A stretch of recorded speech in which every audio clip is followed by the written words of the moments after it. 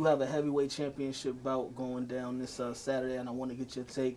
Shout out to uh, Mark Breland, who's another friend of the show, who's also on the documentary as well, uh, because he actually um, uh, trains Deontay Wilder, who's the current WBC heavyweight champion of the world, and he's going to be fighting uh, the Gypsy King, uh, Tyson Fury, in the rematch. Who are you taking in this fight, and why?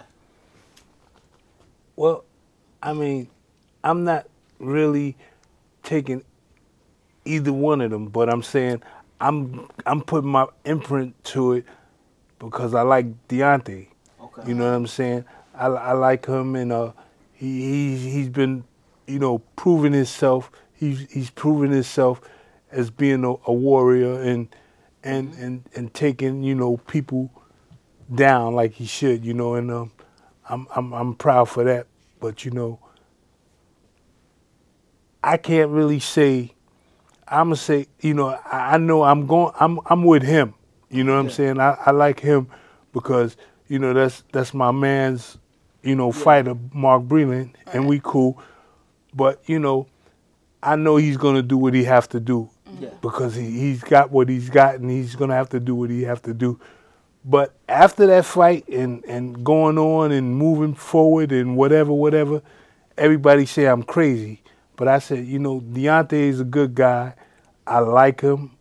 I know he's a good fighter. I know he's a good fighter and everything. But I, I would like to take that challenge for my last hurrah to say bye bye to the boxing game. You know what I'm saying?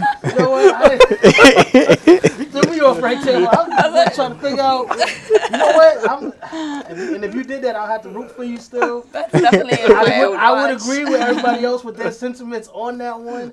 You know, just because I know you've been, it's only because of the ring rust. It's been it's been a little while. That's other than outside of that, I would still I'd put my money on you. But uh, the ring rust is really gonna lead me to believe. I don't have ring Deontay rust. Might get it. Oh, I didn't see. I didn't know. See, didn't that's you was- that's what people fail on. You know, fail to realize. It may look like I got ring rust. It may feel like I got ring rust, but I don't have ring rust. So the hands are still registered, is what you're saying? hands are still registered. He said he's ready. This is Deontay the Bronze Bomber Wilder, heavyweight champion of the world, and you're watching Real Fans Real Talk.